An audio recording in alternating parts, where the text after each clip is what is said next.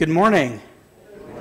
Welcome to Bethlehem Lutheran Church, and a very special welcome to any guests who may be with us in worship today on the 15th Sunday after Pentecost. Uh, today we celebrate the Lord's Supper. If you believe that you are truly receiving the body and blood of our Lord and Savior Jesus Christ, we ask you to join us at the Lord's table. Today's uh, service is Divine Service 4, which is on page 203 in the hymnal. We sing our opening hymn.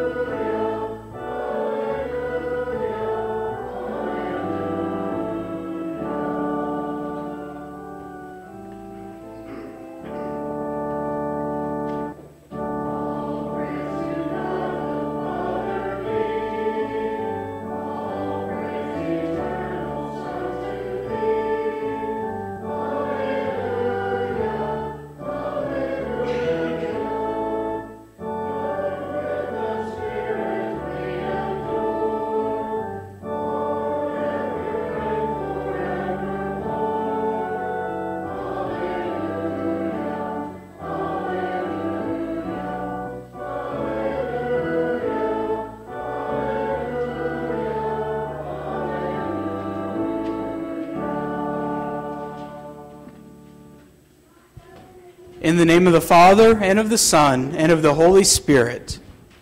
Amen. Our help is in the name of the Lord.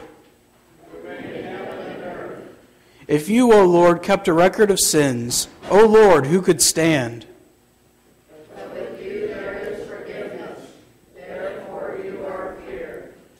Since we are gathered to hear God's word, call upon him in prayer and praise and receive the body and blood of our Lord and Savior Jesus Christ in the fellowship of this altar.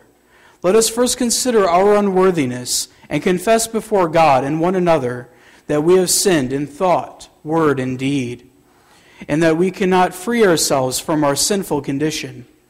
Together, as His people, let us take refuge in the infinite mercy of God, our Heavenly Father, seeking His grace for the sake of Christ and saying, God be merciful to me, a sinner. Almighty God, have mercy upon us. Forgive us our sins and lead us to everlasting life. Amen. Almighty God, in His mercy, has given His Son to die for you, and for His sake forgives you all your sins. As a called and ordained servant of Christ, and by His authority, I therefore forgive you all your sins in the name of the Father, and of the Son, and of the Holy Spirit.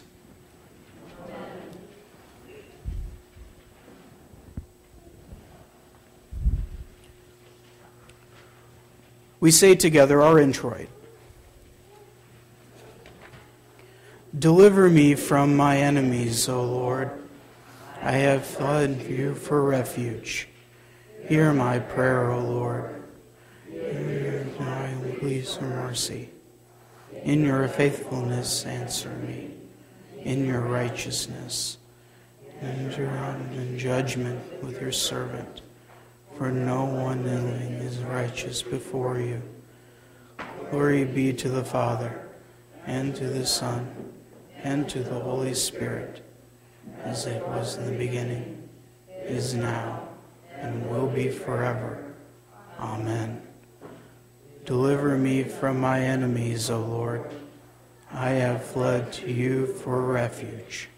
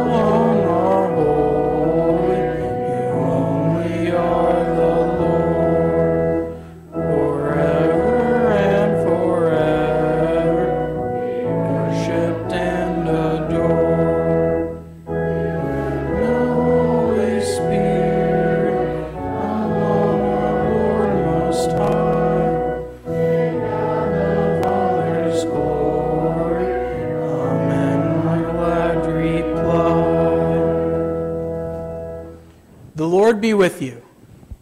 With you. Let us pray.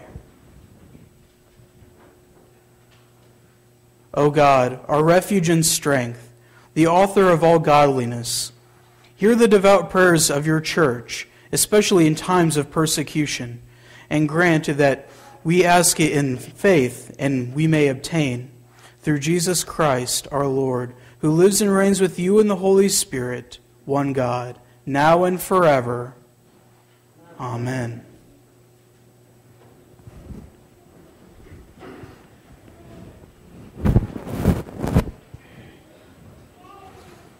Our Old Testament reading this morning is from Genesis chapter 50. When Joseph's brothers saw that their father was dead, they said, It may be that Joseph will hate us and pay us back for all the evil that we did to him. So they sent a message, message to Joseph saying, Your father gave this command before he died. Say to Joseph, Please forgive the transgression of your brothers and their sin, because they did evil to you. And now, please forgive the transgression of the servants of the God your father. Joseph wept when they spoke to him. His brothers also came and fell before him and said, Behold, we are your servants. But Joseph said to them, Do not fear, for am I in the place of God? As for you, you meant evil against me, but God meant it for good, to bring it about that many people should be kept alive as they are today. So do not fear. I will provide for you and your little ones. Thus he comforted them and spoke kindly to them. This is the word of our Lord. Our epistle reading this morning is from Romans chapter 14. As for the one who is weak in faith, welcome him, but do not quarrel over opinions. One person believes he may eat anything, while a weak person eats only vegetables. Let not the one who eats despise the one who abstains, And let not the one who abstains pass judgment on the one who eats, for God has welcomed him. Who are you to pass judgment on the servant of another? It is before it is before his own master that he stands or falls, and he will be upheld, for the Lord is able to make him stand. One person esteems one day as better than another, while another esteems all days alike. Each one should be fully convinced in his own mind.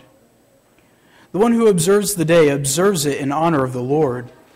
The one who eats, eats in honor of the Lord, since he gives thanks to God. While the one who abstains, abstains in honor of the Lord and gives thanks to God. For none of us uh, lives to himself, and none of us dies to himself. If we live, we live to the Lord. And if we die, we die to the Lord. So then, whether we live or whether we die, we are the Lord's. For to this end Christ died and lived again, that he might be Lord both of the dead and of the living. Why do you pass judgment on your brother? Or you, why do you despise your brother? For we will all stand before the judgment seat of God. For it is written, As I live, says the Lord, every knee shall bow to me, and every tongue shall confess to God. So then each one of us will give account of himself to God. This is the word of our Lord.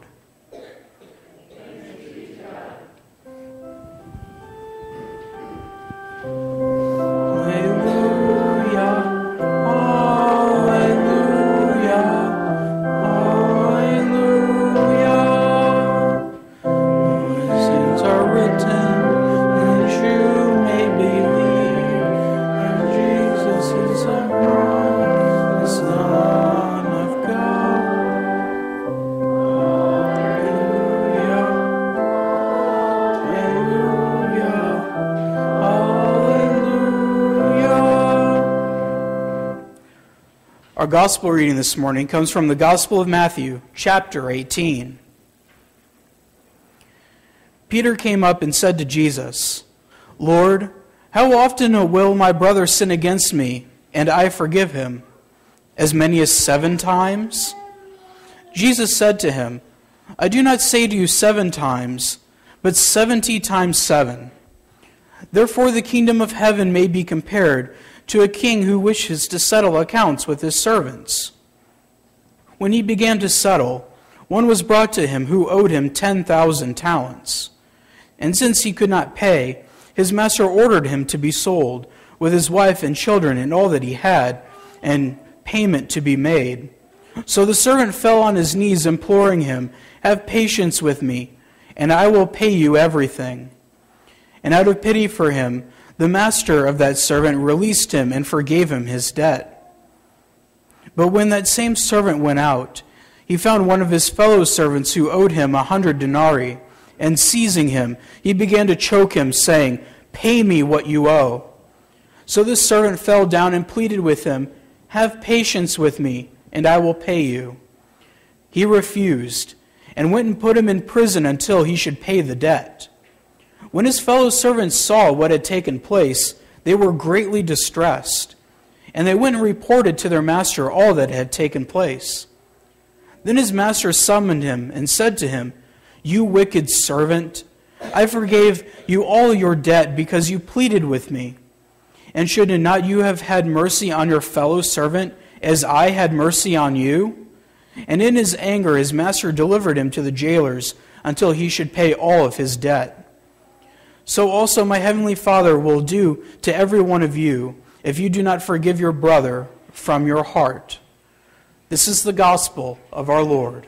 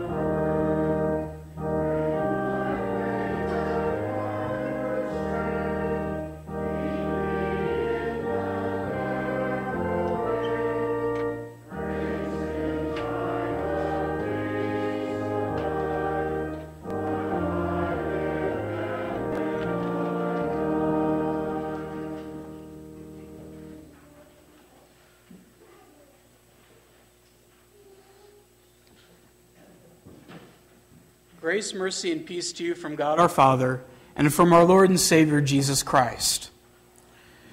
The readings this morning reminded me of a story I once heard about. There's this pair of children, a boy named Johnny and a girl named Sally. They were visiting their grandparents' house one week in the summer out in the country. The grandparents had presents for the kids, and Johnny's was his first ever slingshot. Johnny was so excited that he spent that whole morning out in the woods playing with his slingshot. However, Johnny's aim wasn't that great. Even though he spent that entire morning playing in the woods, picking targets and shooting at different things, he didn't really hit much of any of them. And he looked up at the sun and he knew that it was kind of getting late in the morning, and he had to get back to the house in time for lunch. So he made his way back. And when he reached the backyard, he spotted his grandmother's pet duck. Knowing that he was a bad shot anyway, he decided to playfully aim that slingshot at that duck, pulled back the string, and let loose a small rock. To the boy's horror, he didn't miss. The rock hit the duck, and the duck stopped moving. The boy panicked. And so he hid the duck in the woodpile. And it was at that moment where he noticed that his sister, Sally, had been watching him the whole time. She didn't say a word. She just turned around and head back to the house for lunch. They all had lunch, and then after they were finished, the grandmother asked Sally to, to stay and help her wash the dishes. And Sally just smiled and looked at Johnny and said, Oh, Johnny told me that he wanted to be in the kitchen to work this, this afternoon. Didn't you, Johnny? And then she just whispers to him, Remember the duck? And so Johnny just nods and he helped wash the dishes. Later that afternoon, the children's grandfather asked them if they wanted to go fishing with him. And the grandmother said, I need Sally to stay with me to help make dinner for later tonight. And then Sally looked at Johnny again and said, Oh, Johnny, he said that he wanted to stay and help uh, with dinner tonight instead of me. Isn't that right, Johnny? And, and again, Johnny just nodded and helped make dinner that night. Another couple days went by, and the same things just kept on happening, with Sally blackmailing Johnny to do both of their chores. The guilt and the chores began to take their toll on Johnny, and he just decided that enough was enough, and he went to his grandmother. He apologized to her and told her that he killed her pet duck with the slingshot, and his grandmother hugged him and said, I know, Johnny, and I forgive you, dear. I saw the whole thing through the kitchen window. I just wondered how long you'd let Sally keep you as her slave. In our readings this morning, there's a strong theme present. Joseph, the man who was given the multicolored coat by his father, was betrayed by his brothers, sold into slavery, and he finally sees his brothers once again, and he forgives them.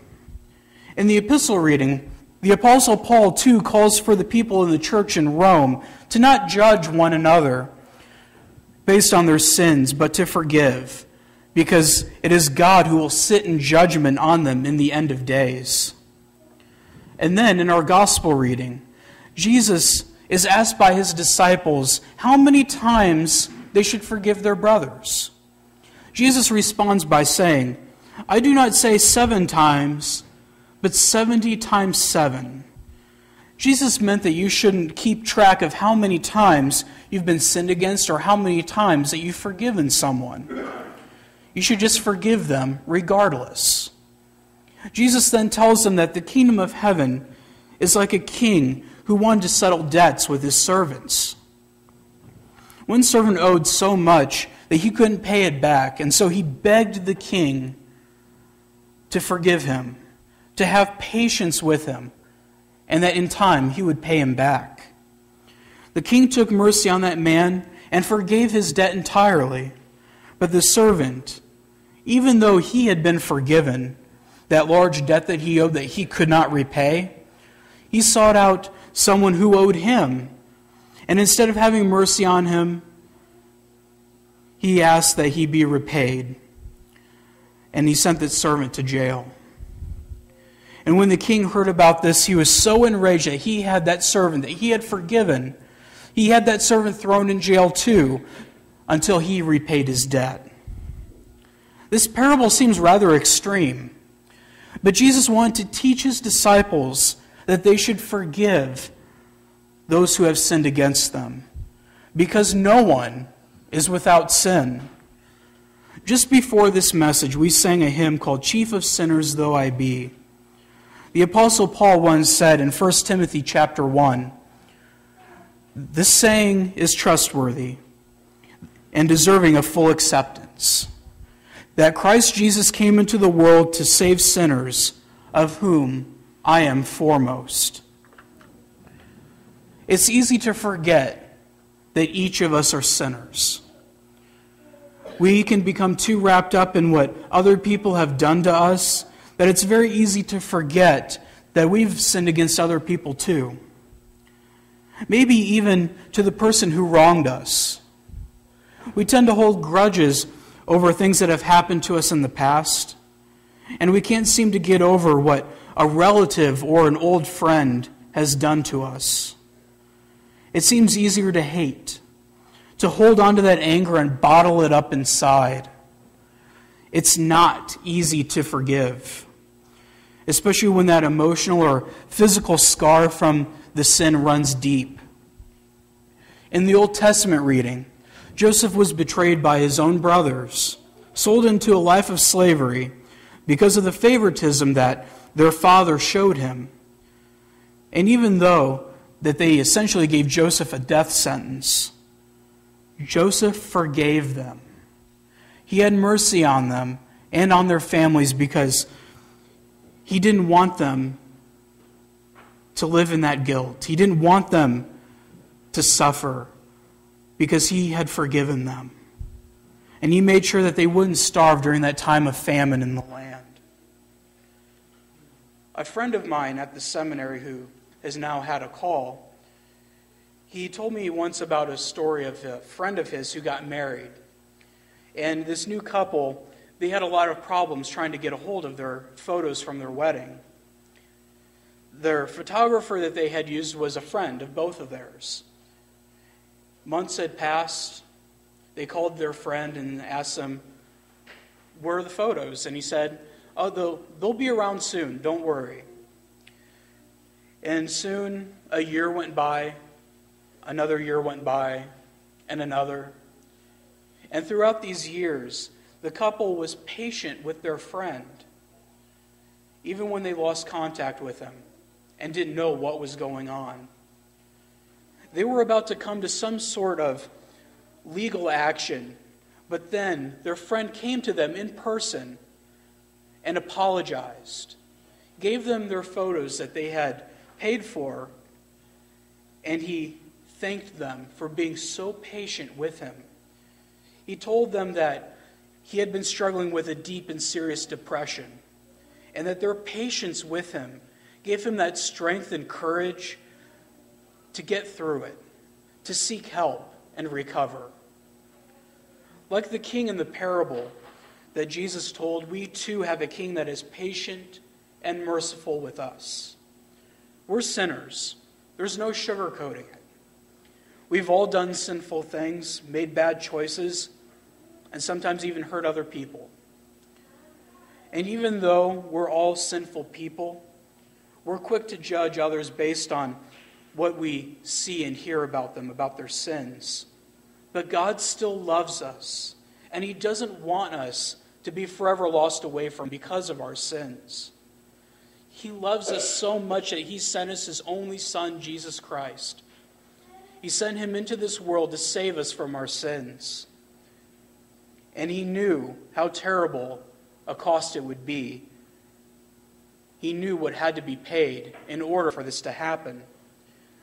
And Jesus did it. He did it willingly. He gave up His own life so that all who believe in Him could be saved from their sins.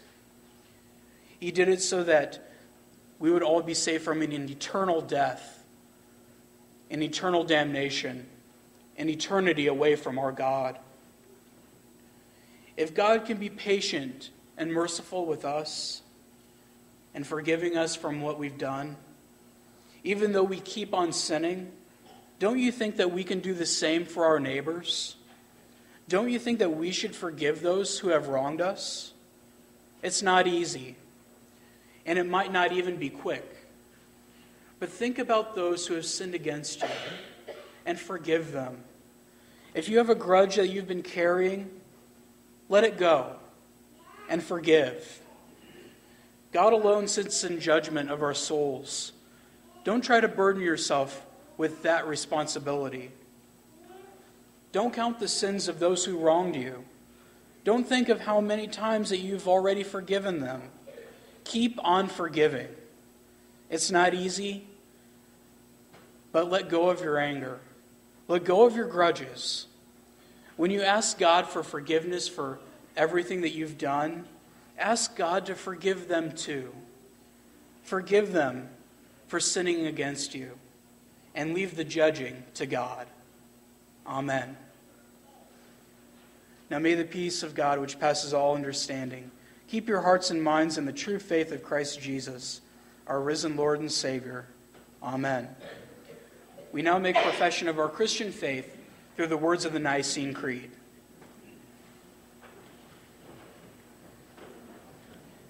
I believe in one God, the Father Almighty, maker of heaven and earth, and both things visible and invisible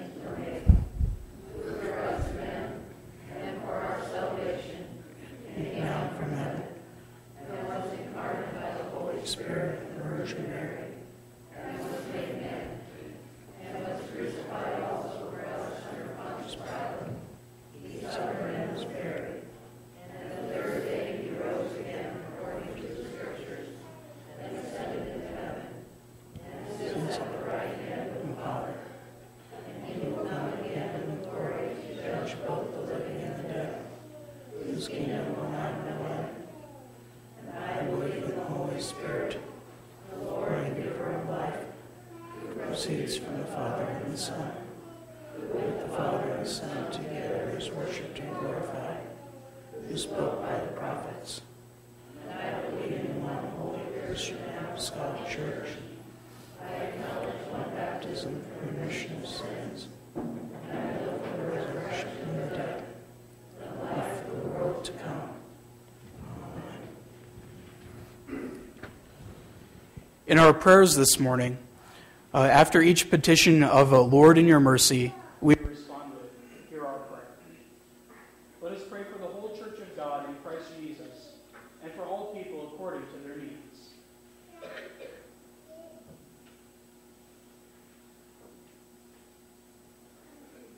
Lord God, Heavenly Father, you sent your Son to live a perfect life and die in our stead, to, pray, to pay the price for our sins in order to reconcile us to you.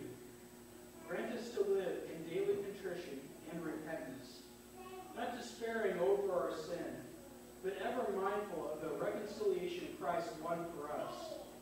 Lord, in your mercy, Almighty Father, just as Joseph forgave his brothers and provided for them and their families, let us forgive those who have sinned against us.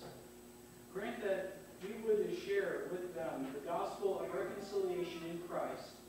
Lord, in your mercy, hear our prayer.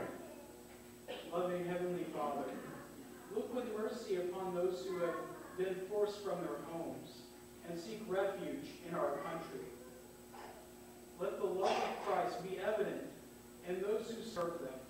Keep them safe from harm and provide for their needs. Lord, in your mercy, God of all comfort, be with those who are poor, homeless, or destitute. Give them reassurance of your care and provision, and fill them with hope. Lord, in your mercy, hear our prayer.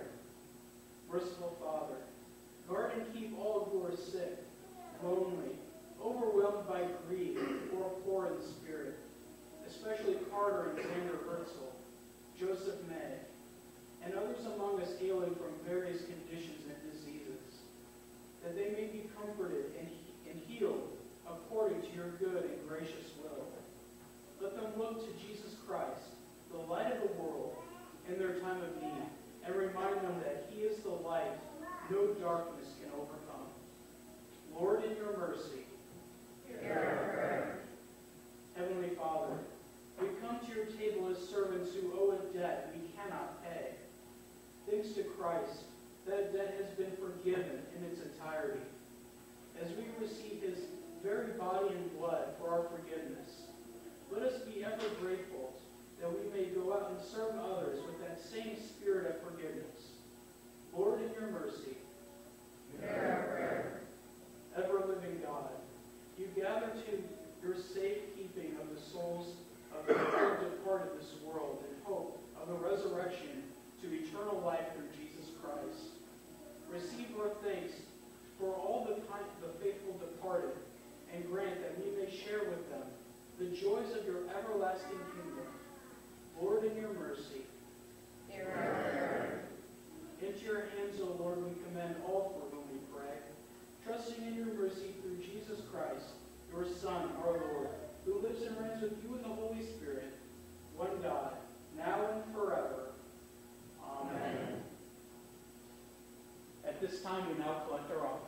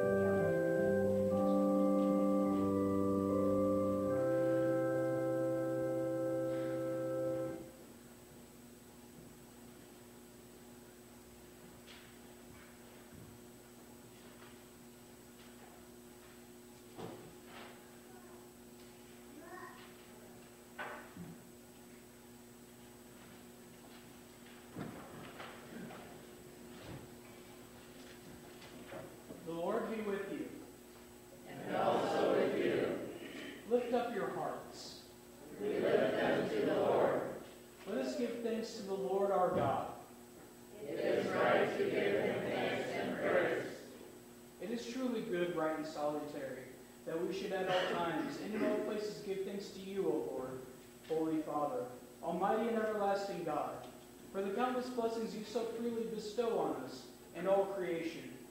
Above all, we give thanks for your boundless love shown to us when you sent your only begotten Son, Jesus Christ, into our flesh and laid on him our sin, giving him into death that we might not die eternally.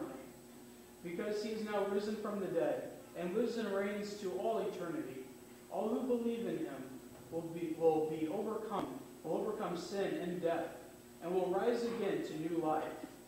Therefore, with angels and archangels, and with all the company of heaven, we laud and magnify your glorious name, evermore praising you and saying,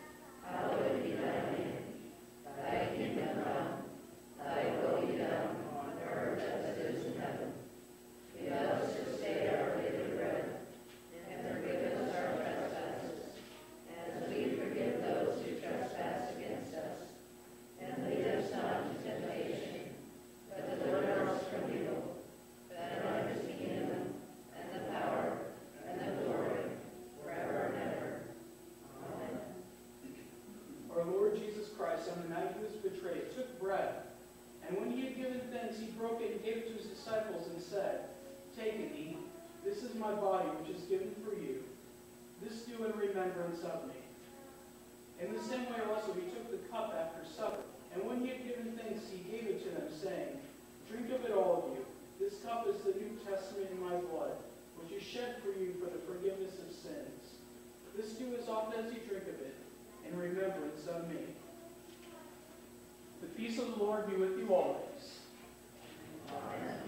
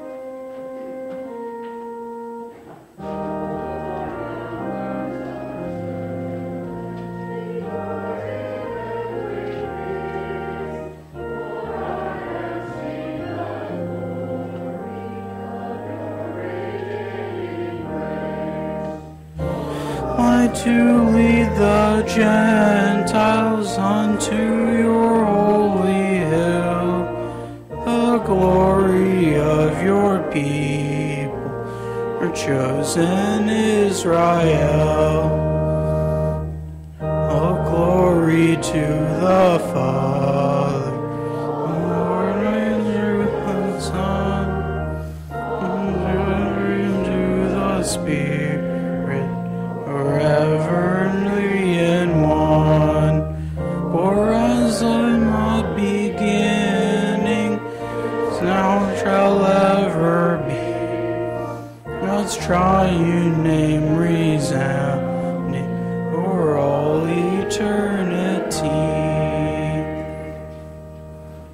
Let us pray.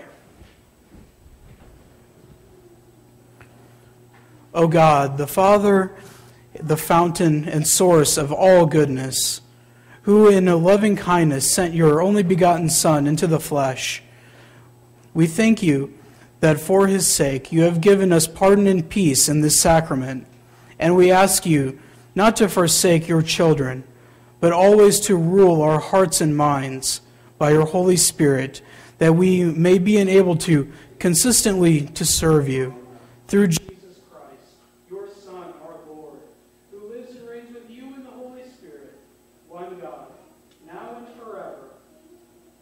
Amen. Let us bless the Lord. Thanks be to God. The Lord bless you and keep you. The Lord make his face shine upon you and be gracious to you. The Lord look upon you with his favor and give you his peace. Amen.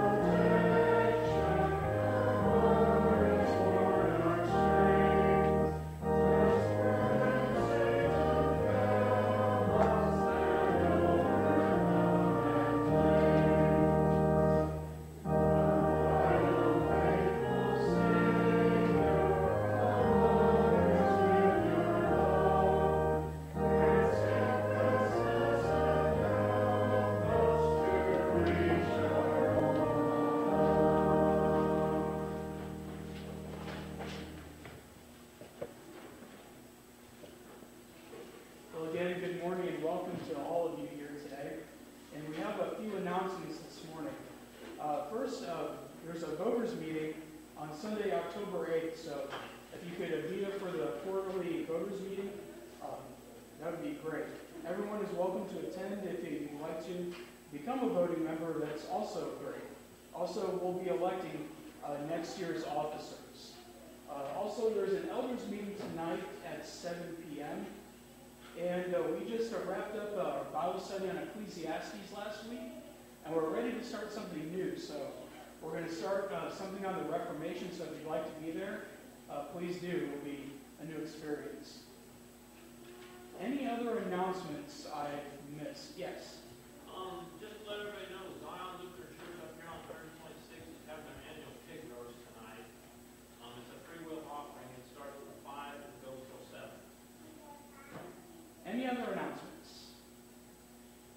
Well, I've been told traditionally that children are let loose for everybody else to get to Sunday school. So if the kids would like to go and get ready ahead of everybody else, go, feel free, go ahead.